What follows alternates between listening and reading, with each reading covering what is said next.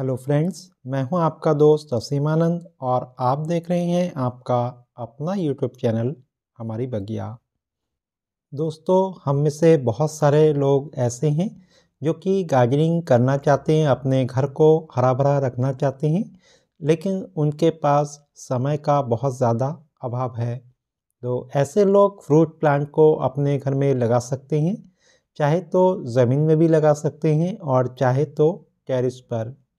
Fruit garden में हमें बार बार खाद वगैरह डालने की ज़रूरत नहीं होती है और बहुत ही कम देखभाल में भी ये अच्छे फल देते हैं।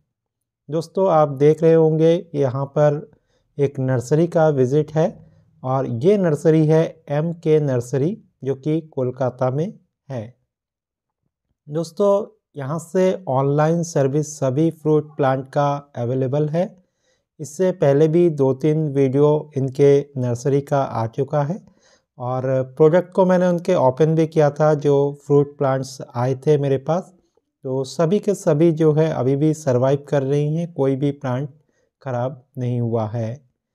चाहे कटहल हो, आम हो, चीकू हो, जिस तरह का भी आप फल लगाना चाहते हैं अपने घर पर, वो सभी के सभी यहाँ पर इनके नर्सरी में ऑनलाइन अवेलेबल है। चाहे तो आसपास अगर रहते हैं तो नर्सरी का खुद विज़िट कर सकते हैं और उनसे ये फ्रूट प्लांट्स ले सकते हैं। वियानार गुआवा देख रहे होंगे, पूरे के पूरे लॉट यहाँ पर है। इसी तरह से हर तरह के जो फ्रूट्स हैं, वो काफ़ी मात्रा में ये तैयार करते हैं। दोस्तों, जो फ्रूट प्लांट है, उसको आप पूरे साल भर कभी भी लगा सकते हैं। बस सर्दियों में जो है इसकी ग्रोथ थोड़ी कम रहती है। अभी आप लगाएँगे तो ग्रोथ आपको कम देखने को मिलेगा।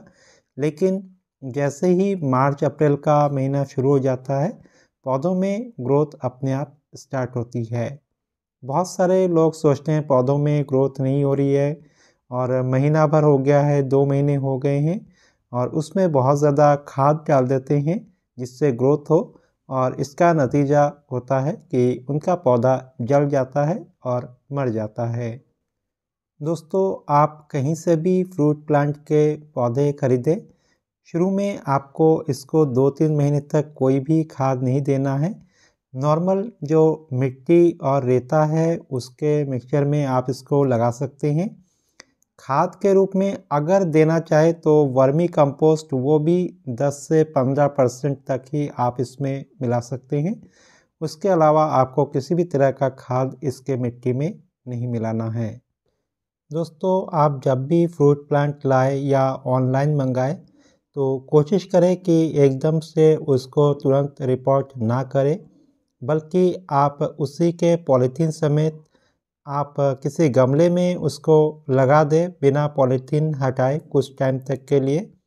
और लगभग जब पंद्रह बीस दिन या एक महीना हो जाए तो आप पॉलीथीन निकाल करके उसके पॉलीथीन को ब्लेड से आराम से कट कर दें और फिर से उसे रिपोर्ट करें। इससे आपके पौधे काफ़ी अच्छे रहेंगे। एकदम से अगर आप रिपोर्ट करते हैं तो पौधों में काफ़ी झटका लगता है। एक तो नई जगह पर पौधा आया हुआ होता है और दूसरा उसके जड़ भी खराब होने का चांस रहता है। दोस्तों, आप जब भी फ्रूट प्लांट नर्सरी से ख़रीदें या ऑनलाइन ख़रीदें तो इस बात की श्योरिटी कर ले कि वो पौधे ग्राफ्टेड है या नहीं। और ग्राफ्टिंग भी कई तरीके के होते हैं।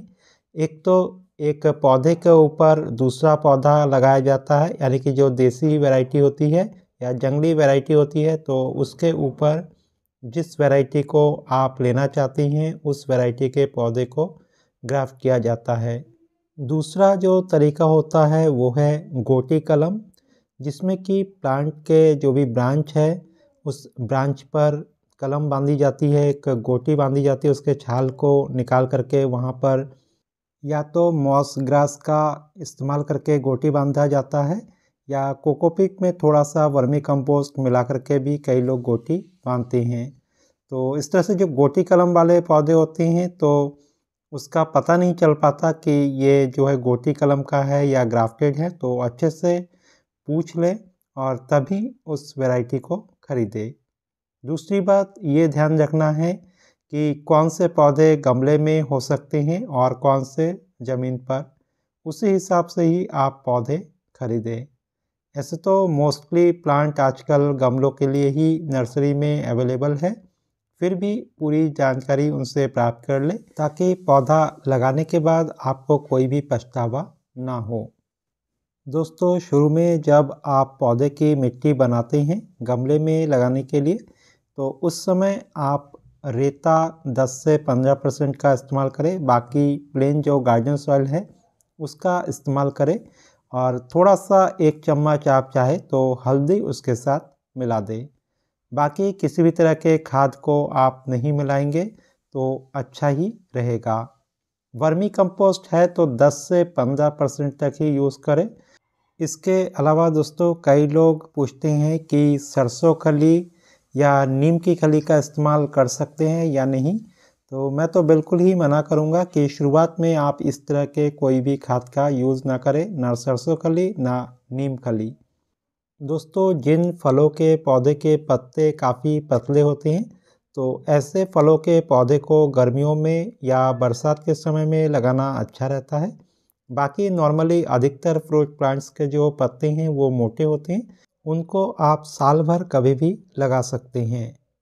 दोस्तों, एक गलती बार बार हम करते हैं फलों के पौधे को लगाने के लिए और वो ये है कि हमें पता है फल के पौधे बहुत बड़े हो जाते हैं तो शुरू से ही बहुत बड़े टब में हम डाल देते हैं। और इससे क्या होता है कि पानी का बैलेंस ठीक नहीं हो पाता और पौधा बहुत जल्दी फिर मरने लगता है। दोस्तों, शुरुआत में आप कोशिश करें कि 10 इंच के पॉट में ही पौधे को लगाएँ। अगर प्लांट ज़्यादा बड़ा है तो आप 12 इंच के पॉट में उसे लगाएँ और कम से कम चार छः महीने तक उसी पॉट में ही रहने दें। पॉट में ड्रेनेज होल को काफ़ी अच्छा रखें और प्लास्टिक के पॉट में अगर लगा रहे हैं तो 10-12 होल नीचे से कर दें और उसके ऊपर आप कंकड़ पत्थर बिछा दें एक लेयर और फिर कुछ रेते की लेयर आप बिछा दें। जिससे कि पानी छन करके पूरी तरह से नीचे से निकल जाए। दोस्तों, कोई भी फ्रूट प्लांट लेने से पहले अपने यहाँ के जो वेदर है, उसके बारे में बातचीत कर ले नर्सरी वालों से। और हो सके तो आसपास की नर्सरी से लेना बेटर है, क्योंकि वो वही प्लांट मोस्टली लाते हैं जो आपके वेदर में हो सकता है।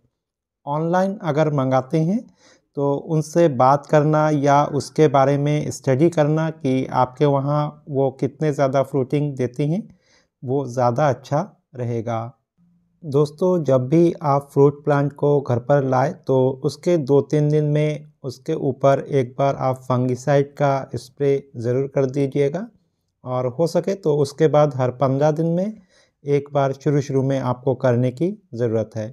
तो फंगिसाइड का स्प्रे कीजिए या इसके अलावा आप कोई भी जो कीटनाशक है, चाहे तो जो नीम ऑयल है तो उसका भी आप स्प्रे कर सकते हैं। इससे जो कीड़े मकोड़े हैं तो वो भी इससे दूर हो जाएँगे।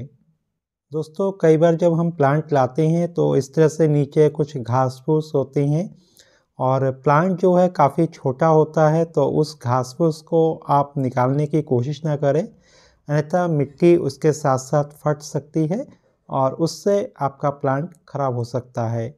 बल्कि ऊपर ऊपर से आप घास फूस को चाहे तो थोड़ा सा कैची से कट कर सकते हैं। अदरवाइज़ वैसे ही कुछ टाइम तक रहने दें। जब प्लांट पूरी तरह से जड़ों को पकड़ ले आपके नई मिट्टी में, उसके बाद ही आप उस घास फूस को वहाँ से निकालें। दोस्तों प्लांट लगाने के डेढ़ दो महीने बाद से आप इनको कुछ लिक्विड फर्टिलाइज़र देना शुरू कर सकते हैं। और ख़ास तौर से जो स्प्रे फर्टिलाइज़र होते हैं तो उसका यूज़ आप इनके पत्तों पर कर सकते हैं। जो 19-19 19 होता है एन के तो उसका भी स्प्रे आप इसमें महीने में या 20 दिन में एक बार कर सकते हैं। कोशिश करें कि प्लांट को ऐसे समय में रिपोर्ट करें जबकि ना अधिक गर्मी हो, ना अधिक सर्दी हो। फरवरी में आप रिपोर्ट कर सकते हैं, फरवरी के लास्ट वीक से मार्च में, अप्रैल में। और इधर जो है, सितंबर, अक्टूबर, ऐसे समय में भी रिपोर्ट कर सकते हैं और बारिश के समय में भी रिपोर्ट कर सकते हैं। एक बात का और आपको ध्यान रखना है कि जिस समय पौधे में फूल या फल आए हुए हो तो ऐसे समय में उसकी रिपोर्टिंग ना करें। या रिपोर्ट करते भी हैं तो उसके जड़ों में कोई भी नुकसान नहीं पहुँचना चाहिए। जड़ की मिट्टी बिल्कुल नहीं हटनी चाहिए। दोस्तों, फलों के पौधे से जल्दबाजी में बहुत ज़्यादा फल लेने की शुरुआत में ही कोशिश ना करें। कम से कम उसको दो साल या तीन साल का वक्त दे तो पौधा आपका काफ़ी स्ट्रांग हो जाएगा और उसके बाद उसमें फ्रूटिंग काफ़ी अच्छी होगी। पौधे के तने को मोटा होने देना चाहिए। जब तक उसके तना मोटा नहीं होगा, तब तक जो भी फल पौधा पकड़ता है या जो भी फूल पकड़ता है तो उसमें से मोस्टली गिर जाते हैं। इसलिए शुरुआत में अगर दो साल तक आपके पौधे से फल, फूल गिर रहे हैं तो कुछ ज़्यादा चिंता करने वाली बात इसमें नहीं है। दोस्तों, जिस समय आपके फ्रूट प्लांट में फूल आ रहे हो तो उस समय आप उसमें किसी भी तरह के पेस्टिसाइड का यूज़ ना करें। उससे फूल झड़ जाते हैं। दोस्तों, कोशिश करें कि जिस समय फूल आते हों तो ऐसे समय से पहले आप मीराकुलान का स्प्रे अपने पौधों में करें। जब भी सीज़न आपको लगता है कि इस सीज़न में फूल आते हैं तो मीराकुलान का इस्तेमाल करने से जो फूल है वो गिरेंगे नहीं और बहुत अच्छे से वो फल में कन्वर्ट होंगे। दोस्तों, आम का जो पौधा होता है, उसमें कभी भी नीम खली का इस्तेमाल ना करें, लेकिन जितने भी नींबू वर्गीय पौधे हैं तो वो काफ़ी अच्छा होता है उसके लिए नीम खली।